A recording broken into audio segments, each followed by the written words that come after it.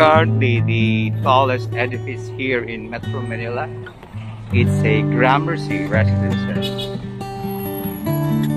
I know the developer for this particular building is 73 floors. Century Properties.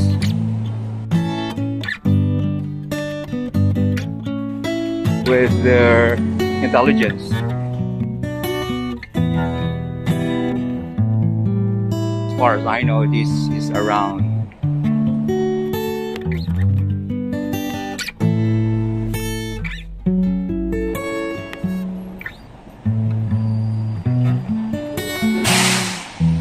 Oh, Gramercy.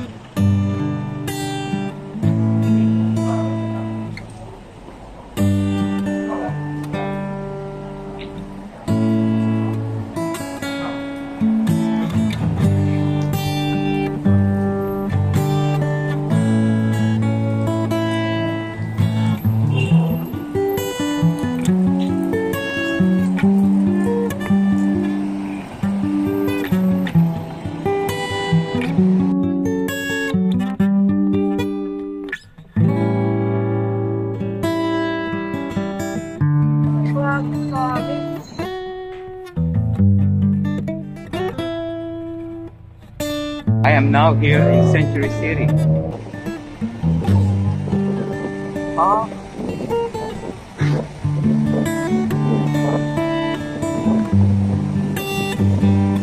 And this is the Trump Tower of Manila.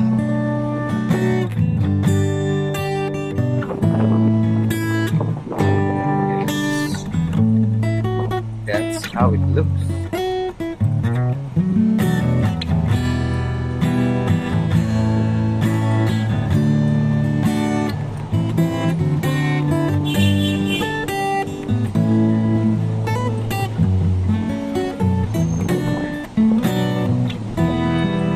Are the main entrance of the Century Mall. Siya. That is Gramercy on this side.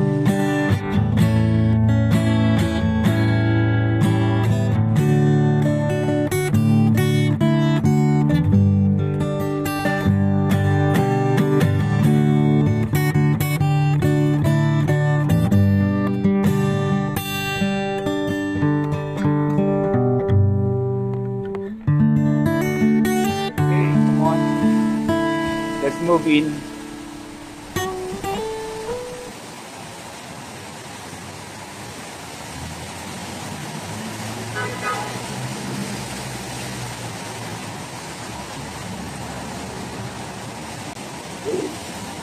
Okay.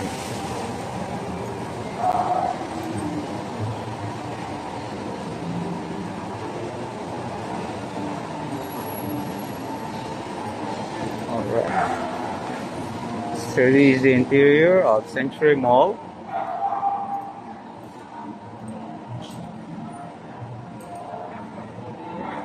So uh,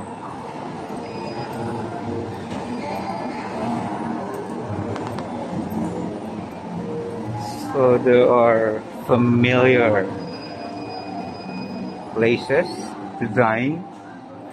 Let's uh, check around kung ano yung babagay sa ating budget at sigmura. Okay? Oh, this is again Mary Grace. It is a very good location right in the middle.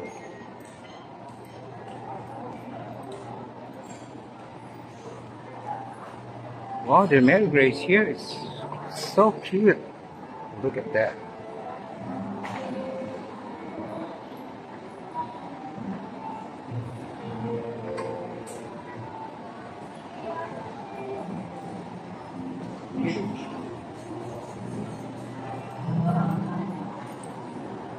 there is Biblio for various pre-owned books.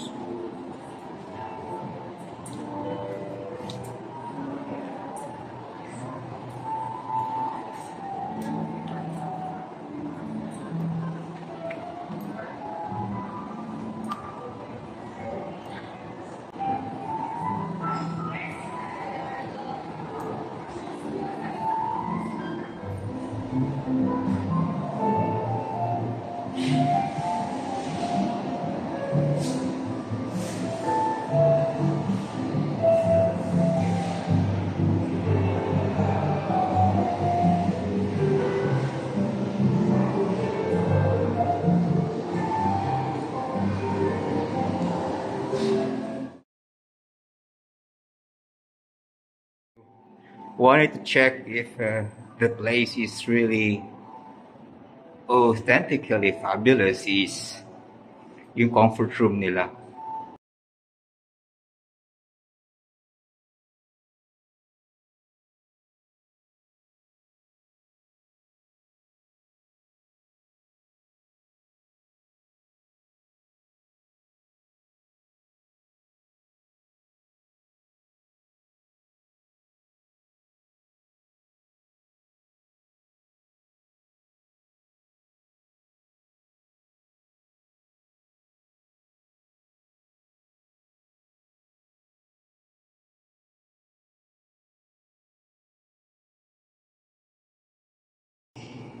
It's floor to ceiling.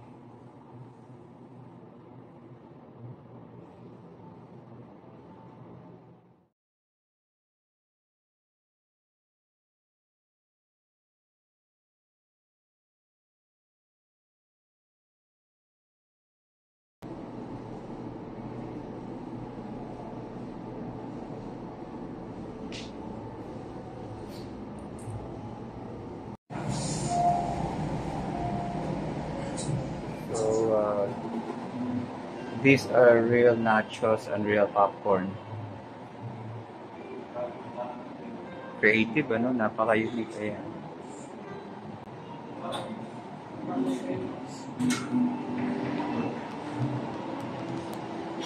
Up till there.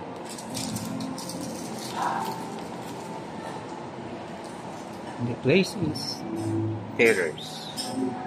O, oh, di ba? Oh.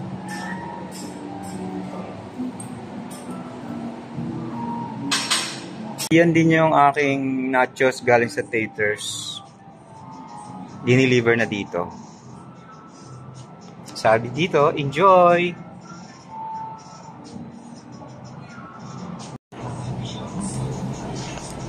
So, the coffee roaster place where I'm in is Thomas Estate. I understand that their coffees came from down under. So, uh, yeah, their coffees, that's uh, what the barista told me, comes from Australia. Let's check on that. It's the place where they get their coffee is Woolloomooloo. Woolloomooloo. Okay, so that's the information that we need to know from this coffee. So there around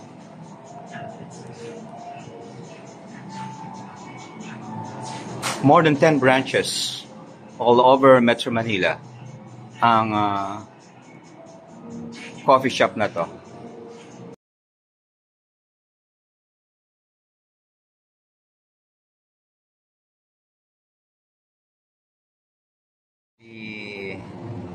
Banana bread loaves and my cookies. At uh, ayan po yung order ko sa Taters. Just been delivered to me. So, okay. Ito na lang at uh, kwento ko na lang sa inyo mami yung ba't ako nabigo sa pagpunta ko rito.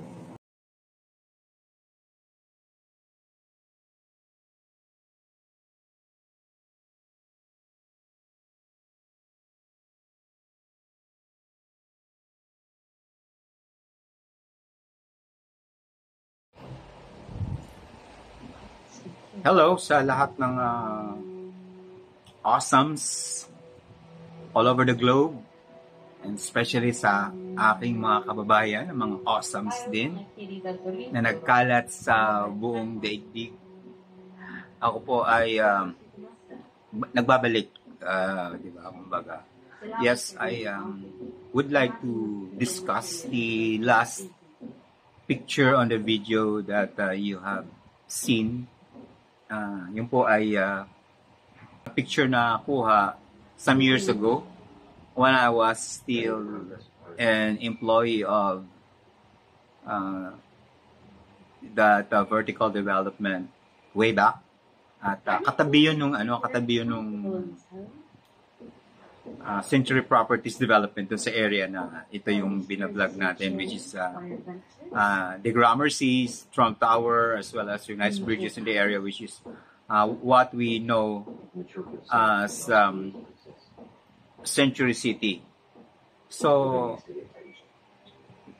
yung pong um, land development na yun, company uh, wh- which I represent, andun lang din. But kanina, kaya po uh, humabol ako ng kwento because my uh, my plan in mind before I went there is to drop by uh, yung famous na yun na bar doon na during its uh, time talagang uh, sabi nga nung guard Sir, para saan po yung uh, inyong uh, uh, kinukunan? Kinuwento ko sa kanya, sabi ko, uh, sabi ko, I was a former employee of this company. Tapos eto nga, ganun. Sabi niya, alam niyo po sir, ang dami nagtatanong sa akin ng tungkol dyan.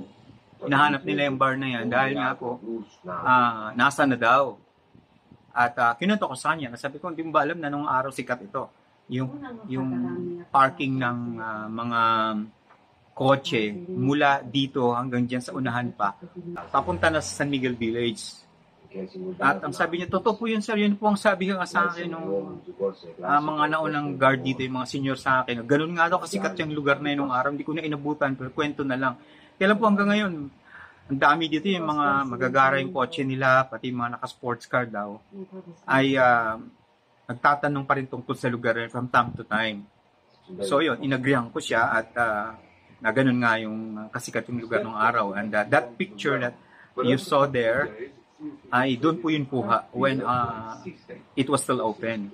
And it let's let uh, and uh, it let me feel sad because I plan ko doon ako uh, mag-dinner plus uh, uh, some wine or a bottle Pilsen. But uh, yun nga, nagulat ako nila, bakit gano'n na siya?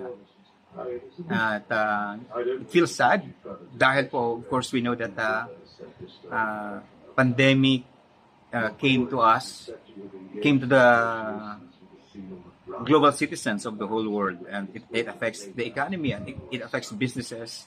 And of course, since um, uh, my uh, my boss, which owns that company, are still very that, that is their uh, first uh, development project. So talagang uh, at yung bar na yon as far as I know cost them half a billion pesos just to have that um, uh, bar uh, erected and operated.